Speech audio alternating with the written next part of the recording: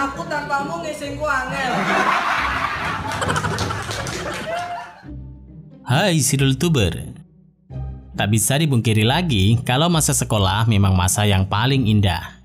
Ada banyak kejadian yang tak bisa dilupakan saat duduk di bangku sekolah, entah merah putih, putih biru, ataupun putih abu-abu. Semuanya selalu punya pengalaman yang mampu dikenang hingga dewasa nanti. Biasanya tingkah konyol para siswa berlangsung saat jam istirahat, bisa di kantin atau taman sekolah. Nyatanya, tak hanya satu jam istirahat atau jam kosong saja kelakuan nyeleneh siswa bisa terjadi. Saat pelajaran pun juga bisa loh. Seperti beberapa momen yang akan kita lihat ini, merasa dekat dengan sang pahlawan tanpa tanda jasanya. Beberapa murid berani menggoda para guru dengan gombalan mautnya. Tak ayal, gombalan dan tingkah usil dari siswa ini sukses membuat para guru jadi salah tingkah dibuatnya. Penasaran? Mari tonton terus video ini sampai habis. Nanti pulangnya lewat jalan selatan aja ya. Karena perasaan saya tidak bisa diutarakan. Yang pertama gombalannya sama pantun nih guys. Awalnya seorang siswi yang duduk di deretan bangku belakang tiba-tiba berteriak ke arah sang guru.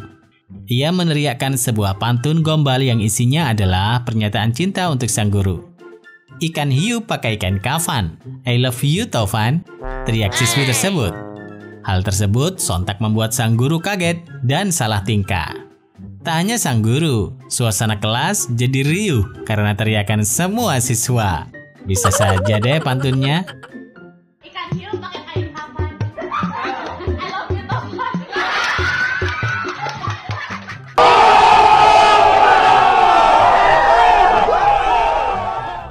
Kalau gombalan yang satu ini memang pernah viral pada masanya guys. Meminta sang guru mundur. Mundur dikit pak. Kalian pasti tahu kan? Nah, kalau pak gurunya udah mundur, nanti siswanya akan menyaut. Gantengnya kelewatan. Biasanya gombalan ini ditujukan untuk para guru yang usianya masih muda guys. Seperti pak guru yang satu ini. Tuh lihat ekspresinya setelah mendapat gombalan. Malu-malu gitu ya.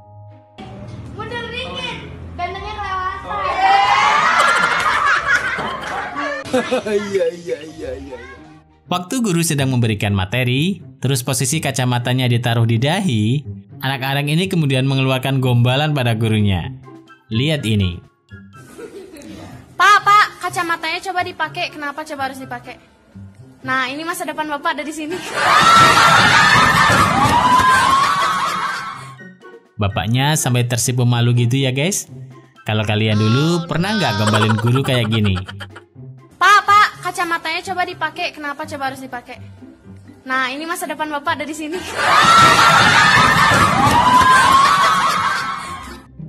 Kalau punya guru cantik kayak gini, muridnya pada rebutan menggombal. Kayak di video ini.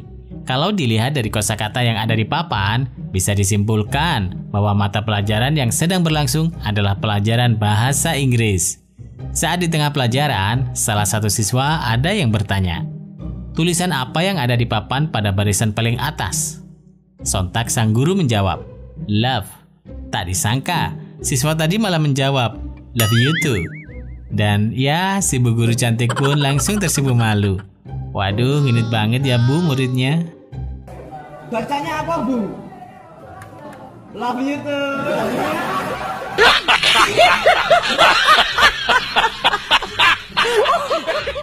Ini juga muridnya genit banget guys.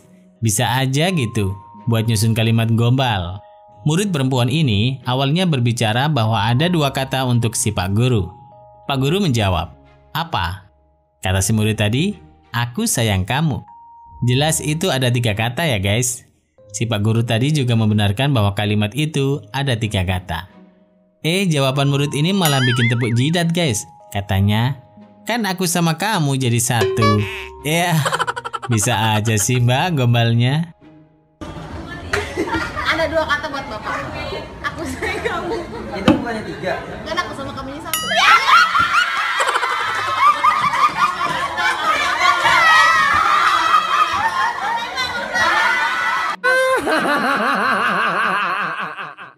Kalau ini tak cukup sampai gombalan aja nih, tapi juga menyatakan perasaan.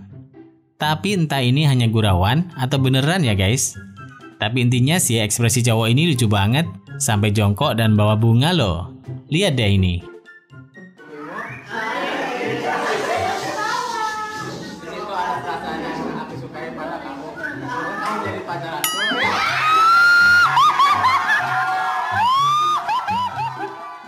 Setelah mengutarakan perasaannya, sesi kelas langsung bersorak. Dan tentu si ibu guru juga tersipu malu, sampai pukul-pukul manja ke cowok tadi. Aduh, murid zaman now nih.